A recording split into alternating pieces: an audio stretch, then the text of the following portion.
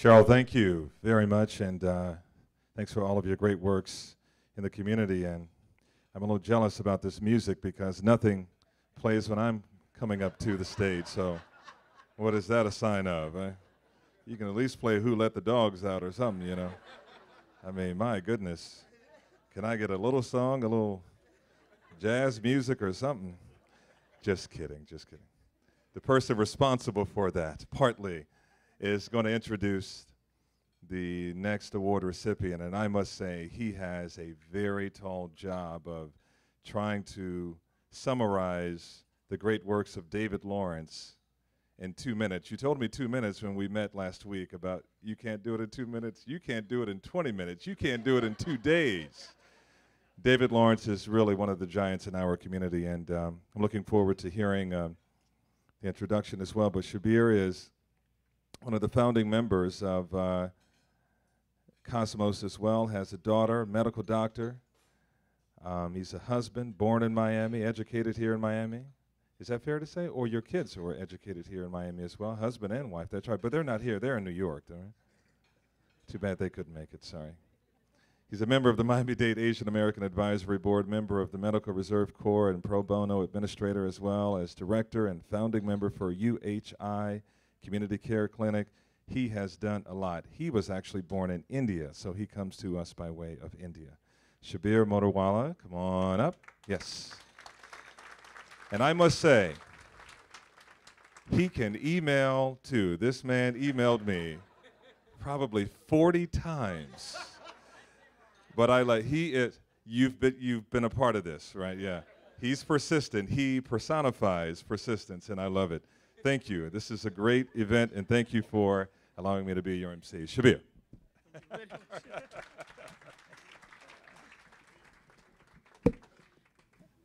Assalamu alaikum, good evening. Now you know Calvin, and you said it right.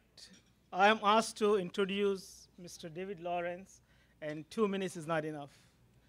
Uh, I think it will take about 45 minutes. We can have a breakfast, lunch, and dinner here to go through what Mr. Lawrence has done.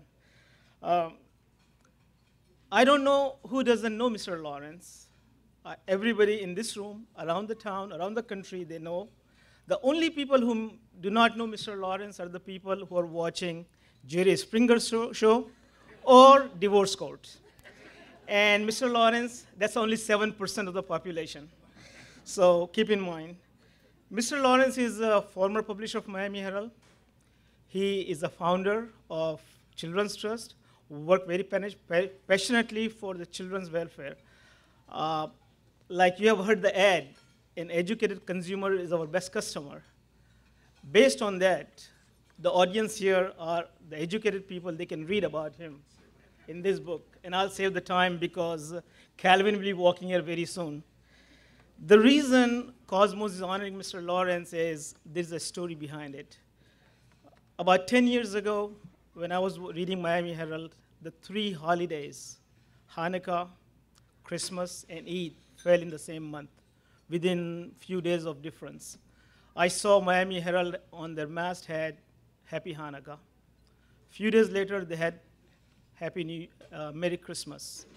And three days later, there was Eid, and there was no mention in Miami Herald, as if Muslims did not exist. And I thought for a second that Abrahamic faith it's a three-legged stool. It has Muslims, Christians, and Jews. And if you don't have one leg, that is a very unstable stool. Based on that, I asked Miami Herald.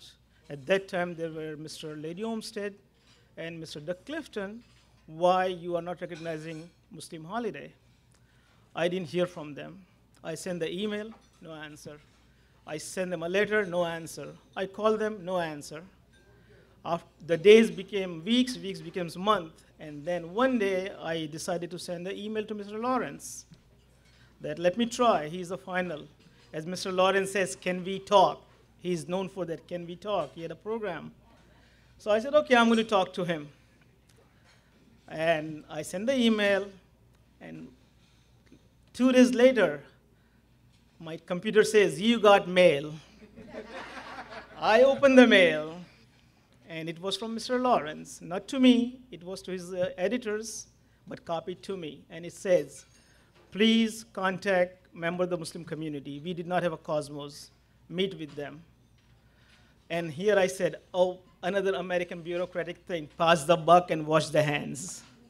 From the boss to the subordinates. I didn't know that Mr. Lawrence doesn't work like that. A day later, I got a call from editor. He asked that we need to meet with the Muslim community as soon as possible, and he gave me 15 days. He gave me Tuesday, and I remember, he says, Tuesday afternoon, we can meet with you. And then he says, what kind of diet Muslims have? And I said, why are you asking for the diet? And he says, well, we'll be serving the lunch. And I said, okay. First time Miami Herald not only wants to meet with us, but they want to feed us. that goes with Mr. Lawrence thing, that he works with the Children Trust where he wants to feed the people, and really fits perfectly with you. That foundation, what Mr. Lawrence did, that he initiated that Muslim holidays should be recognized. While he was the publisher, he made sure. He retired from the thing, but he led the foundation. And that foundation of the bridge building between the Muslim community and Miami Herald led to a fantastic dialogue we have. We have a Johnny Yearwood, we have Rick Hirsch. In the past, Miami Herald, and they're still honoring Muslim holidays.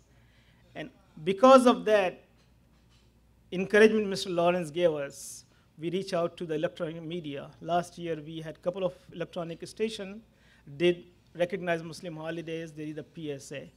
And for his effort to reach out to the Muslims, to reach out to the community, to build the bridges, and keep on asking the question, can we talk? And then he wants to listen.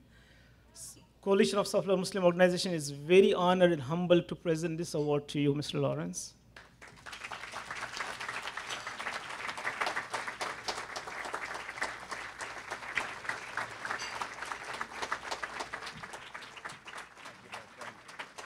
Thank you all.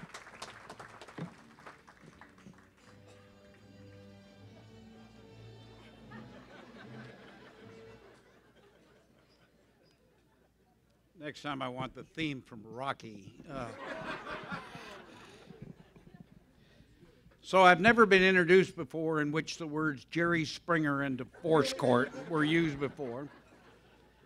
I'm going to figure out the deep meaning of this later. And just so you know how time flies,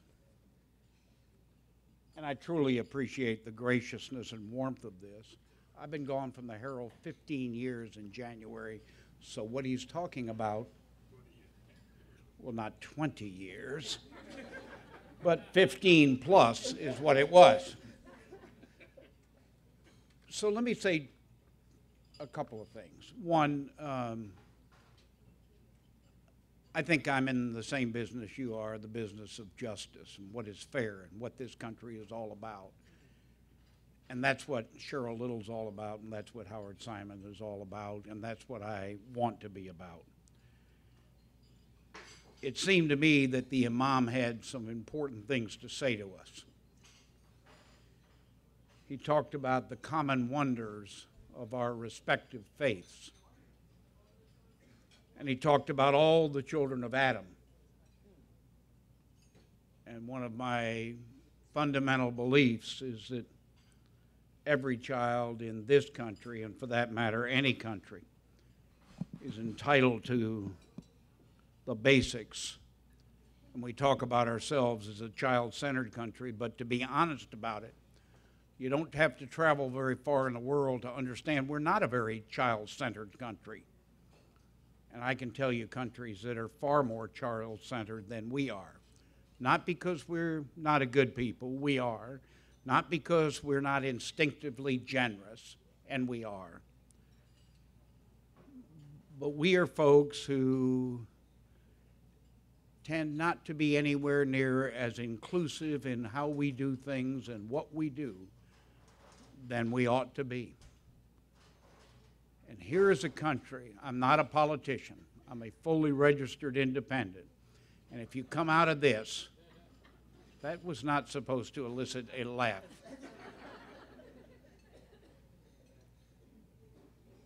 if you come out of what I say thinking that, boy, these are kind of radical thoughts, or I'm some kind of social engineer, you wouldn't understand me very well. I think it's all about fairness and justice. I worry deeply about the hatefulness in this country the last several years. It is very, very worrisome to me. When people call the President of the United States lawless, among other things, I think that's a terrible mark on a whole bunch of people who are very destructive to this country. This country works best somewhere toward the center. Don't tell me we can't afford things. Question is how we allocate the resources we have. If we want to spend less than $3,000 for pre K in this state, which is what we do, and $51,000 to incarcerate a juvenile, then we do not have our priorities straight, I promise you. We live in a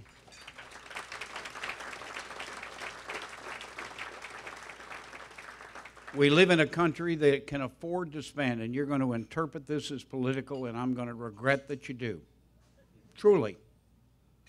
We live in a country that can afford a trillion and a half dollars to bring democracy to Iraq and Afghanistan. And one out of every five children in America lives in the full federal definition of poverty. We need to be a significantly better people than this. And I saw just in the past two weeks, and I know I'm over the top perhaps with some of you, but I hope not with others because I think it's all about justice. And I'm not a wealth redistributionist. But I was struck by the story in the past two weeks that 85 people in this world, if you aggregated their wealth, it's exactly equal to the wealth of three and a half billion people on the planet. And you ought to be worried about this. And for those of us who are people of faith, whatever the faith might be, I certainly think that if Jesus or Moses or Abraham or Muhammad were to appear in person in the days or time to come, and were to read the story about 85 people and 3.5 billion people would say there is something wrong here. We can be a better people than that. You are a better people than that. I think that this community is blessed to have you. Salam.